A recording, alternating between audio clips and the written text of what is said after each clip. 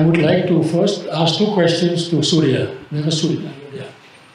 Which you can both answer with a very simple yes or no. The first thing is, do you believe that the RA should function as defined in the Auroville Foundation Act? Sorry?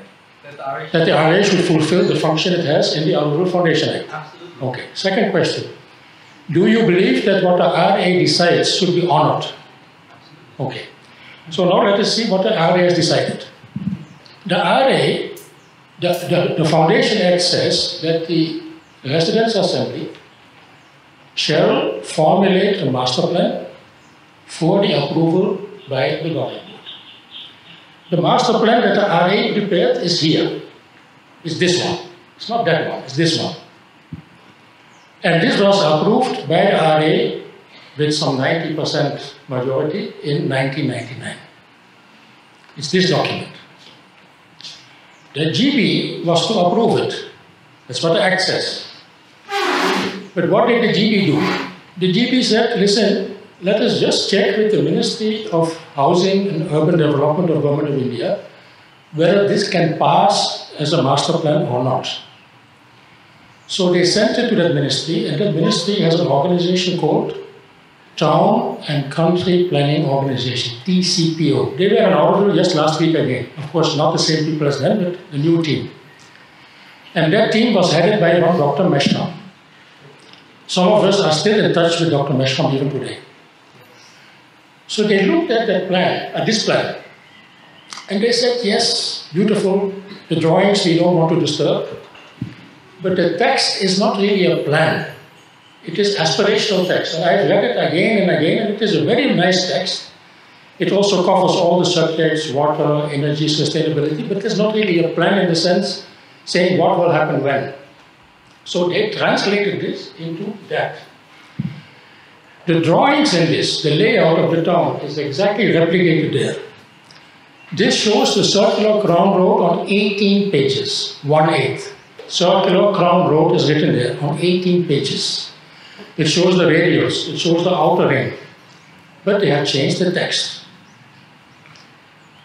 So what did the governing board do after the ministry came back with its feedback? It had meetings, which were also attended by Aurovilians, and then they gave feedback on the draft which came from TCPO. I just yesterday went through the correspondence, which fortunately somebody had.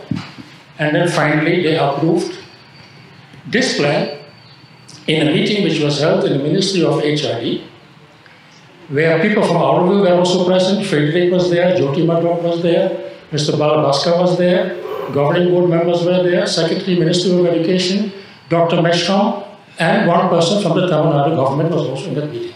They approved the plan. This is called a perspective plan. And a perspective plan is an overall plan. It needs to be detailed. So some people have argued over AuroNet in the last couple of days. How can you make the crown road before you have DDPs? The answer to that question is the crown road is a master plan road, not a DDP road. The DDP will define what happens on both sides of that road. What type of urban design, what type, type of densities. In fact, densities also have been given here, but you have to detail it even more. So if we are doing what you say, namely to honor the RA, then we have to honor that plan, that layout, and not discuss it every time when we do a few hundred meters of crown or anything else. The whole discussion starts afresh. Galaxy, Mother, Roger, the plan, and we, we decide, we start discussing the whole history once again. The DDPs have been partially prepared, but some architects of Auroville, who are now critical of this, have themselves built and designed buildings without a DDP. All the buildings along the crown, Solar Kitchen, Library, Mahalakshmi, Arka, Kalpana, are built without there being a DDP of the crown. So when that was done, it was fine not to have DDP.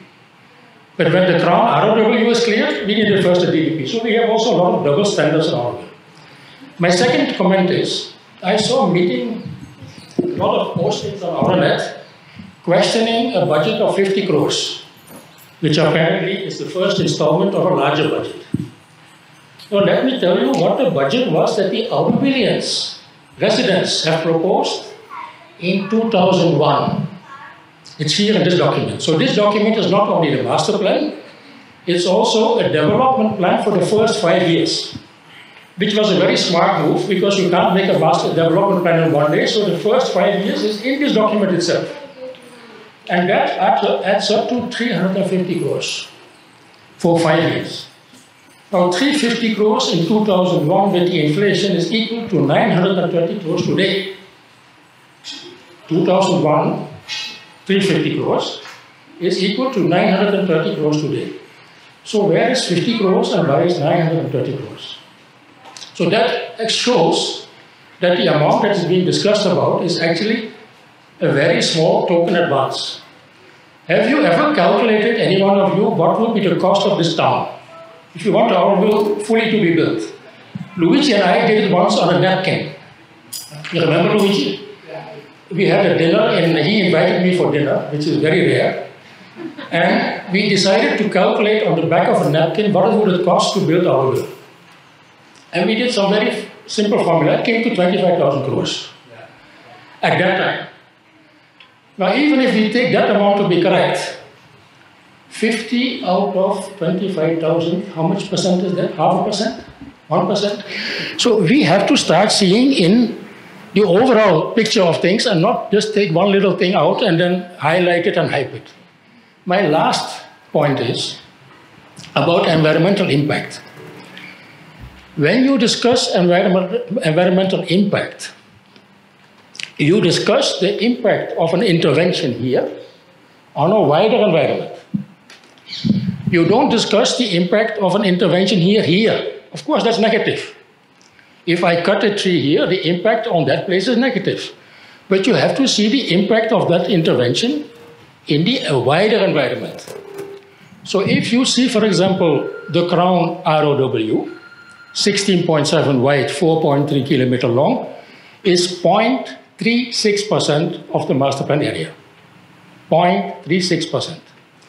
The crown, plus the 12 radials, plus the outer ring, plus the international zone loop, plus one access road from outside to Auroville is 1.64% of the master plan area. Are we not able to keep 1.64% free from trees and buildings? What is the big deal?